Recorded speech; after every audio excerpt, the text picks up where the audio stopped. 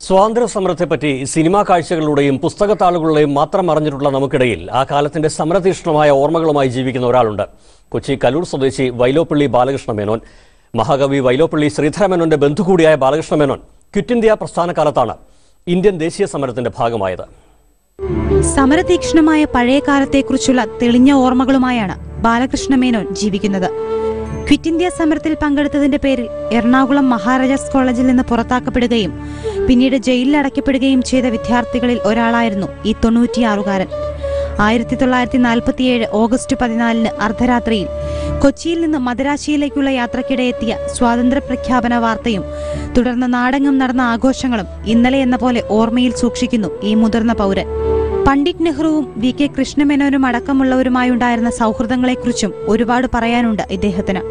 V K Krishnan അന്ന് നടാടെ ഇന്ത്യയിലേക്ക് വന്നതാണ്. ഞങ്ങൾ വേഗം ആനന്ദഭവനിലേക്ക് കയറി ചെന്നു. എന്നിട്ട് മലയാളത്തിൽ ഒരു കാർഡ് എഴുതി കൊടുത്തു. ഞങ്ങൾ രണ്ടുപേരുടെ പേര്. എന്റെ ദൈവമേ കൃഷ്ണമേൻ ഇങ്ങോട്ട് വന്നിട്ട് ഞങ്ങളിങ്ങനെ കെട്ടിപ്പിടിച്ചു അവനെ മലയാളത്തിൽ എഴുത്തും ഞാൻ രണ്ട് മലയാളികൾ അത് ഒരു വർഷമായിട്ട് കാണുകയാണേ. അങ്ങനെ വിളിച്ച് വേറെ അകത്തേക്ക് കൂട്ടിക്കൊണ്ടുപോയി. ഇങ്ങനെ കൂട്ടിക്കൊണ്ടുപോയിട്ട് Pandit Pandit these boys are from my place എന്ന് പറഞ്ഞ് ഇൻട്രൊഡ്യൂസ് ചെയ്തു പണ്ഡിറ്റ്ജിയെ. കേന്ദ്ര സമുദ്ര മത്സ്യ ഗവേഷണ കേന്ദ്രത്തിൽ നിന്ന് സീനിയർ സയന്റിസ്റ്റായി വിരമിച്ച ബാലകൃഷ്ണ മേനോന്റെ പിന്നീട് അങ്ങോട്ടുള്ള ജീവിതത്തിന്റെ ഊർജവും സംഘർഷാത്മകമായ ആ പഴയ കാലത്തിന്റെ ഓർമ്മകൾ തന്നെ.